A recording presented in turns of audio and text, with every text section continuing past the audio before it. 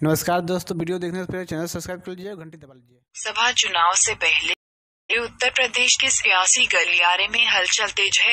भोजपुरी फ़िल्मों के star Dinesh Lal Nirahua BJP में शामिल हो गए हैं। वहीं रवि किशन ने ऐलान किया है कि वह लोकसभा चुनाव लड़ेंगे।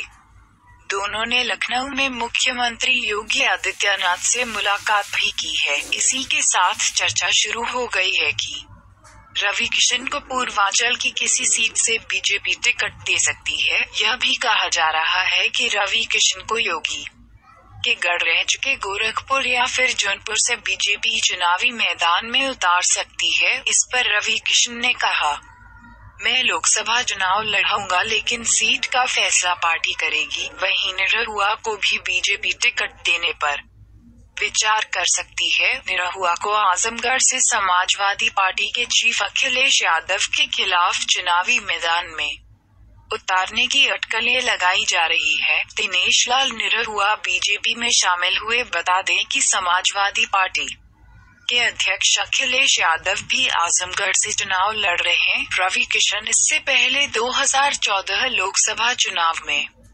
कांग्रेस के टिकट से चुनाव लड़ चुके हैं, जहाँ उन्हें महज बयालीस हज़ार सात सौ उनसठ वोट मिले थे, यहाँ बीजेपी के कृष्णा। प्रताप सिंह ने जीत दर्ज की थी। इसके बाद 2017 में उन्होंने कांग्रेस छोड़कर बीजेपी ज्वाइन कर ली।